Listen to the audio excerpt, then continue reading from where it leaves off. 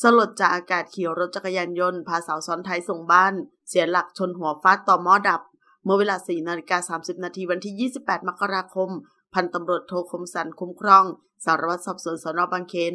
รับแจ้งเหตุรถจักรยานยนต์ พุ่งชนฟุตบาทบนถนนพหลโยธินขาเข้า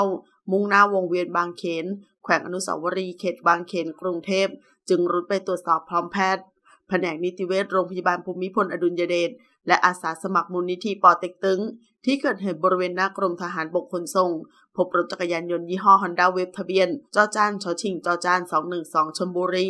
สภาพลมคว่ำอยู่ ใกล้กันพบผู้เสียชีวิตชื่อจ่าอากาศโทนรงอายุ 26 ปี สังกัดกองทัพอากาศ สภาพสวมเสื้อยืดคอกลมสีดำนุ่งกางเกงขายาวสีเทา มีบาดแผลกระโหลกศีรษะแตก ขาขวาหักผิดรูป นอนหงายจมกองเลือด และพบหมวกกันน็อกแบบเต็มใบ สภาพแตกเร้าตกอยู่ นอกจากนี้ยังมีคนนั่งซ้อนท้ายได้รับบาดเจ็บ ทราบชื่อคือนางสาวน้ำฝนอายุ 29 ปี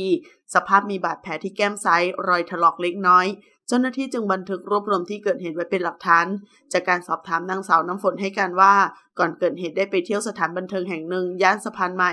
และได้รู้จักกับผู้ตาย หลังจากร้านปิดผู้ตายได้อาสาจะขับรถไปส่งที่บ้าน ตนจึงนั่งซ้อนท้ายมาด้วย เมื่อผู้ตายขับรถจักรยานยนต์มาถึงที่เกิดเหตุ รถเกิดเสียหลักพุ่งเสยฟุตบาทริมถนนทำให้ผู้ตายร่างกระเด็นศีรษะฟาดกับเสาต่อหม้อสกายวอล์กรถไฟฟ้าอย่างแรง ส่วนตนร่างกระเด็นนอนกลิ้งถลายพื้นถนน จนได้รับบาดเจ็บบริเวณใบหน้าเท่านั้น เบื้องต้นเจ้าหน้าที่ไม่พบว่ามีคู่กรณีแต่อย่างใด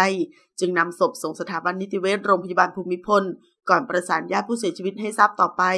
ขอขอบคุณข้อมูลจากข่าวสดขอบคุณค่ะ